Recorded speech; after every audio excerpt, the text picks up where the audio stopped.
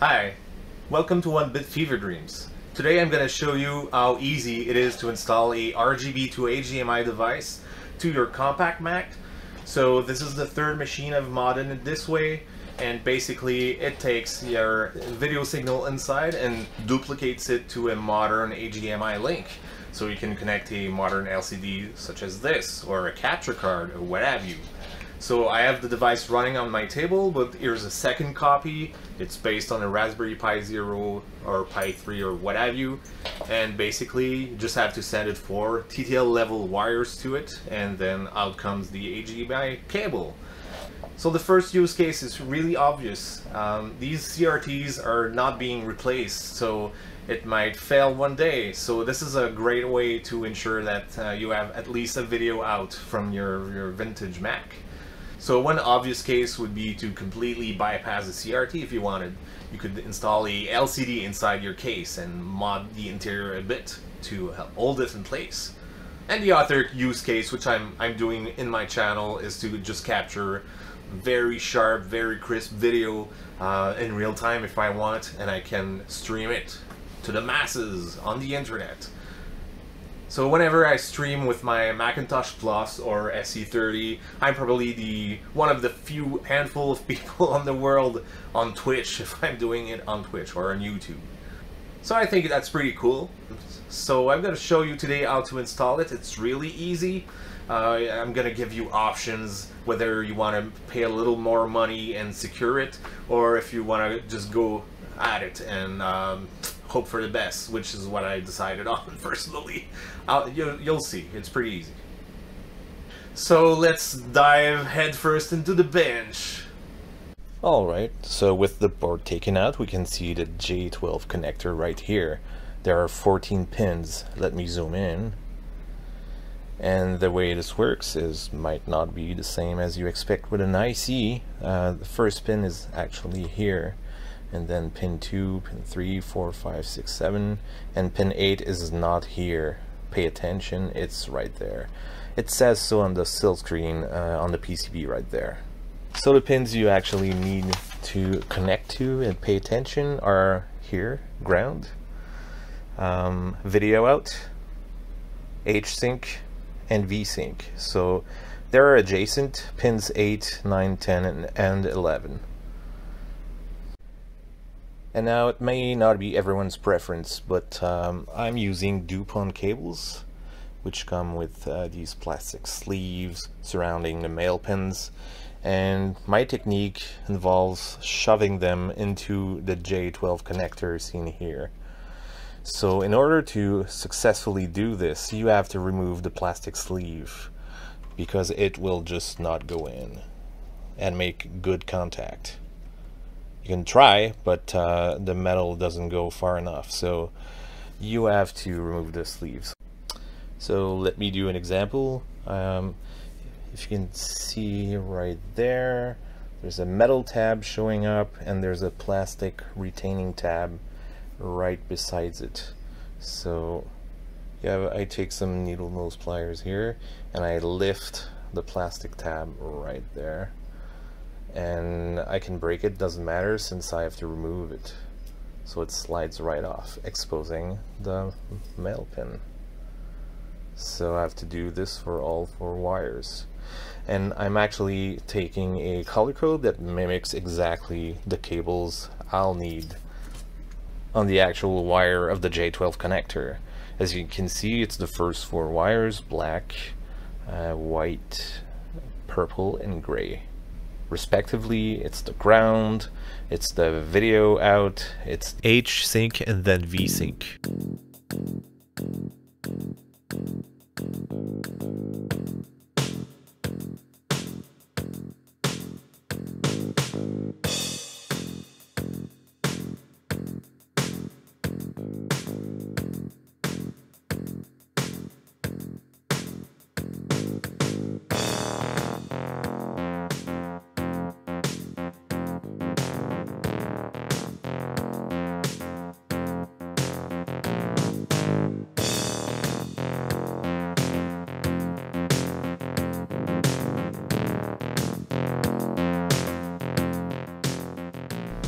So the cables are in, but I'm gonna check for some continuity and I don't feel they're as solid as they could be, so I'm gonna improve on that, but let's check the continuity first.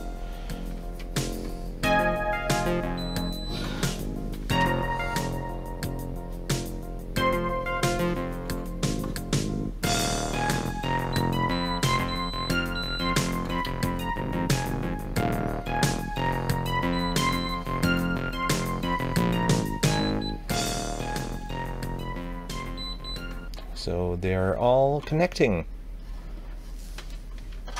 Let me improve uh, the shoving of the cables off camera first. All right, so they're a bit more snug and I'm gonna tie them up with some tie wraps um, so I can relieve some of the stress of the wires here. So I don't want these ends to move around. It might be bad. There might be a bad connection.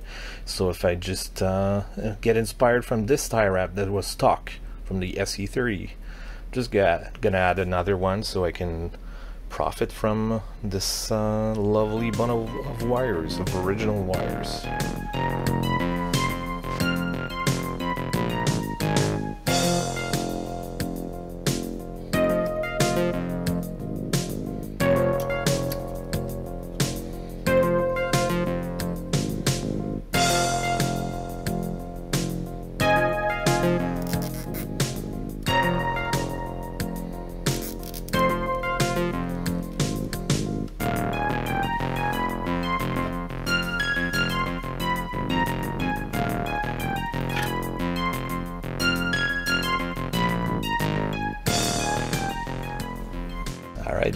Good. Doesn't seem to affect the ends.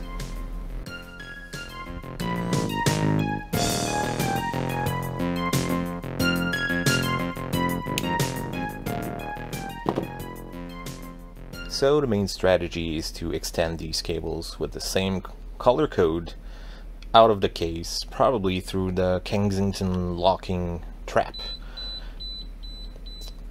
and eventually it'll be soldered to the back end of this male DA connector which I use as the uh, interconnector for, for this project. As you can see my RGB H2 HDMI this is the second one I had laying around completed. Uh, it has a female connector for uh, the DA connection. And it'll interface with this which will connect to it. So as you can see, I have a, I have a few sets of DuPont cables, male to male, female to female, and these are the ones I need, female to male.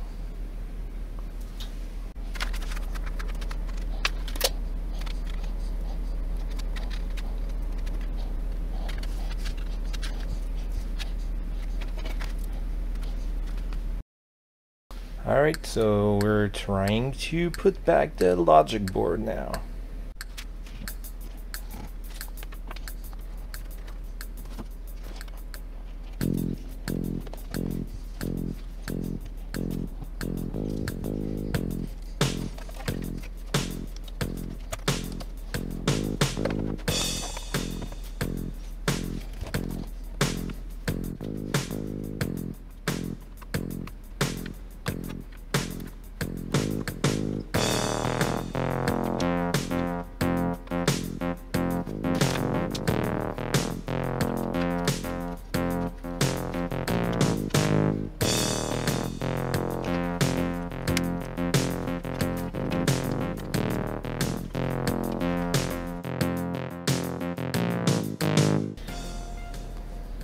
Alright, so now the tricky part, getting the case back in.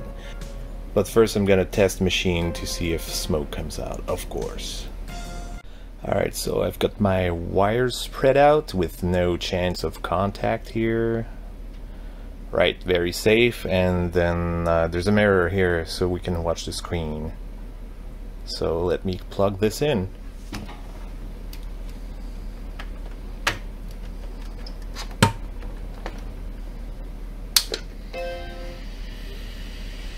chiming.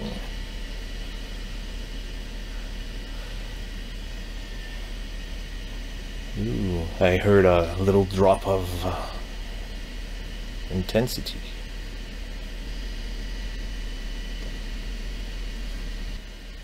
Alright, I see a cursor, so it's uh, gonna boot. Alright, and so for some reason the internal hard disk, which is supposed to be working, does not work right now. But that's a common occurrence, it's on its last uh, living days. So it's fine. I've got a BlueSCSI anyway. So I'm gonna try to put the back case on and fish the cables through one of the many options here. So this is unused. I'm gonna go through here. I could also wiggle my way through the Kensington lock hole here, but I won't need to. Not right now.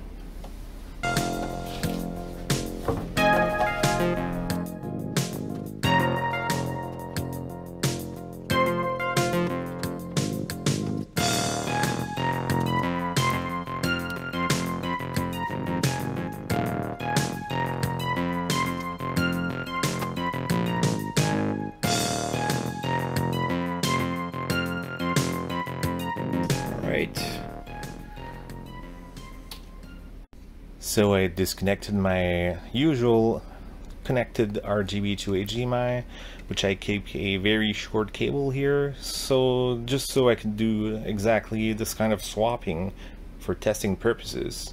So I've got the exact same color code with my wires, and as you can see there's a small male end of DuPont cable going to the connector that goes to the RGB to HDMI. So this is removable if I want to, like so. And it's the same kind of connector that I'll duplicate for this second RGB to HDMI. But for now, let's test this one since I know it's working. It's tied up to my setup under my desk.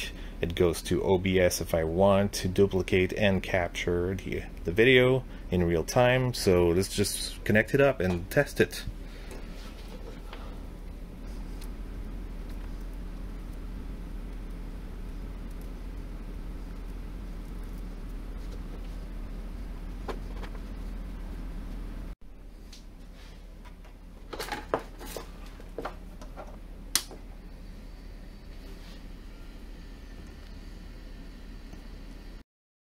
So yeah, some activity on the RGB to HDMI.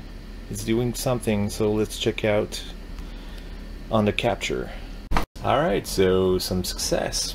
Uh, I see an unstable image, so I'm gonna have to try to tweak the settings. Hang on. The footage of me fiddling on the settings is sped up so what happened is that I ended up figuring out that I swapped the cables for H-Sync and V-Sync. This is why I would never be able to get a very stable signal. So the moral of the story is to triple check everything before you connect your wires and don't expect the color codes like from a Mac Plus to be the exact same as the Mac SE30. So take nothing for granted. Now that the setup is working, I'm going to show a few examples of games. I'm starting off with Flappy mm-hmm. Mac, programmed by Gruz, who has a channel called Classic Mac Gaming. And notice how crisp the image quality is.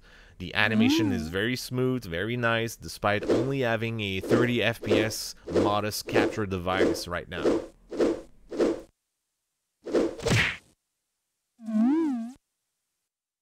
I'm going to follow it up with Megaroids 2, for which you could buy the source code back in the day in C, and some people have done so and shared it. I'm going to link it down below in the description. One thing you'll notice is the lack of sound. I suspect it's trying to use the sound driver of the earlier system software rather than the sound manager of System 7, which I'm using now.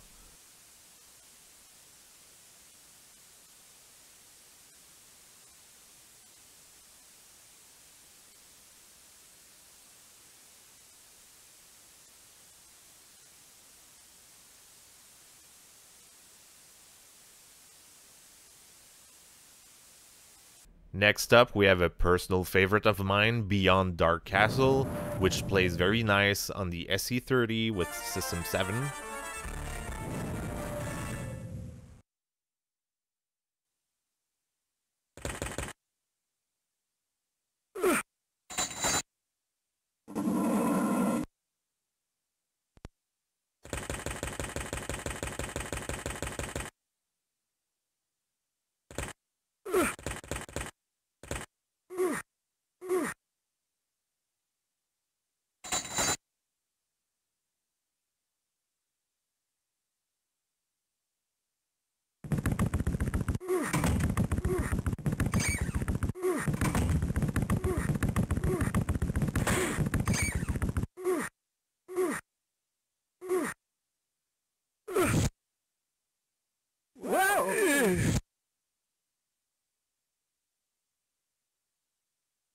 And lastly, I'm showing off the CD version of Oregon Trail, which is mounted in a virtual disk image thanks to the new features of the BlueSCSI devices, version 1 and version 2 alike. Welcome to the Oregon Trail. You're about to begin a great adventure, traveling the Oregon Trail across the rugged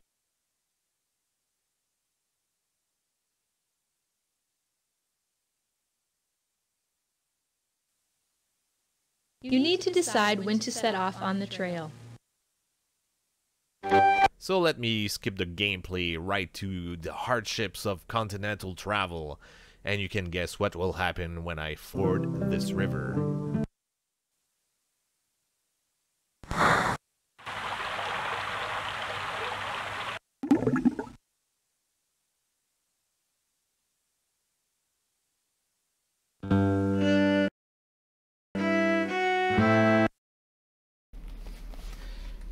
Here's my Macintosh Plus. I've opened it so I can show you exactly where the wires go for the RGB to HDMI.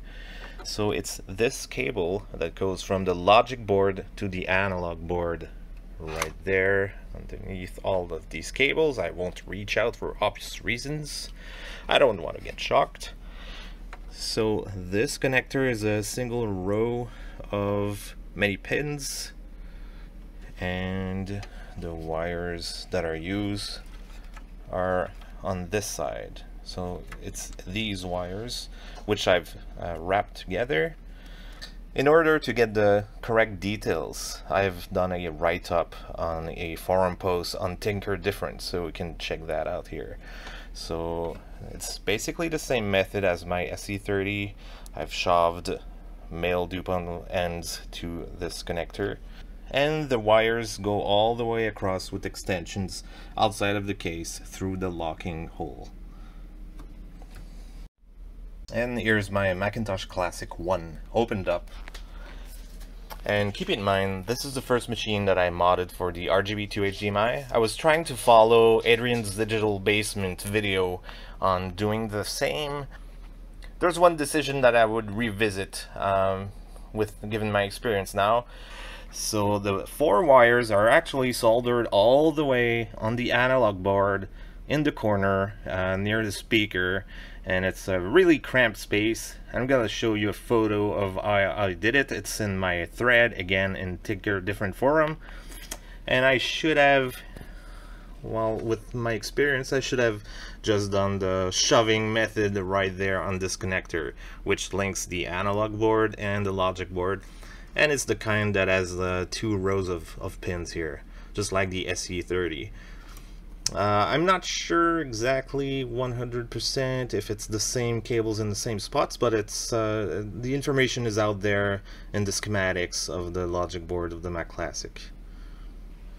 So because of my decision the cables the DuPont cables that have to go outside the case reach all the way from back there in the corner all the way out the case and it's a mess. I haven't used my RGB2 HDMI on my Mac Classic. It was, again, my first machine that I modded.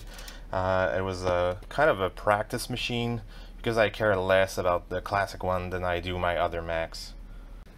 Time for some closing thoughts. Is it easy to install the RGB2 HDMI? Absolutely. Can you buy an already assembled version somewhere Yes, you can from Texelec in the USA sells um, an already assembled board with the Pi Zero for over a hundred dollars. Can you assemble your own cheaper? And the answer is yes again. You can go to the GitHub project, get the Gerber files, and have the PCB made from your favorite manufacturer. One thing to keep in mind is that the video signal must not go the wrong way. So you absolutely need some kind of device that prevents a return current. So this task is accomplished by the TTL extender board that sits between the Pi Zero and the RGB to HDMI hat. Also keep in mind that if you go the DIY route, uh, there are some SMD components, surface mount devices that you need to solder. So depending on your comfort with soldering, on your experience, that might not be an option for you, or it might be a great practice. It could serve as a great starter project for SMD soldering. If your preference is not to shove cables inside my connectors like I did in my video, uh, there is a ready-made solution from a member of the community from the Mac Vintage folks called Ron McAdams who has designed some breakout boards uh, which promises to secure cables a lot more strongly. So his breakout boards are available for purchase from his friend's store at jcm-1.com, which is Joe's Computer Museum store. So you can check this out. As you can see in the picture, this is what you would get, which would greatly facilitate the connection of your RGB to HDMI.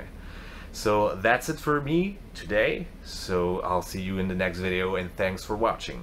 Bye!